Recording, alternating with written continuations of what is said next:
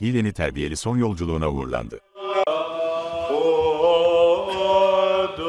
İskenderun gazetesi imtiyaz sahibi Rızkullah Terbiyeli'nin eşi, İskenderun Gazeteciler Cemiyeti Yönetim Kurulu üyesi İlyas Edip Terbiyeli'nin annesi Hileni Terbiyeli, Aziz George Kilisesi'nde düzenlenen cenaze töreninin ardından Karaağaç Asrı Mezarlığı'nda toprağa verildi. Mübarek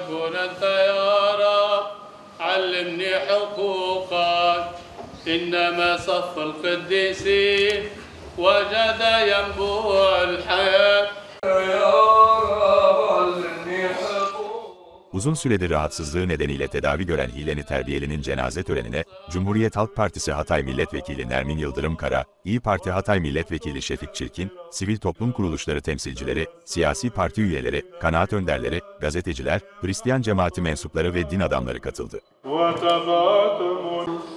وتباتم لنسبح بحسن عبادتك اللاهوت الواحد المثلث الضياء آتٍ ومن خطيئ Kilisede düzenlenen ayin töreninin ardından Hileni Terbiyeli'nin naaşı omuzlara alınarak Karaağaç Asrı Mezarlığı'nda dualarla son yolculuğuna uğurlandı.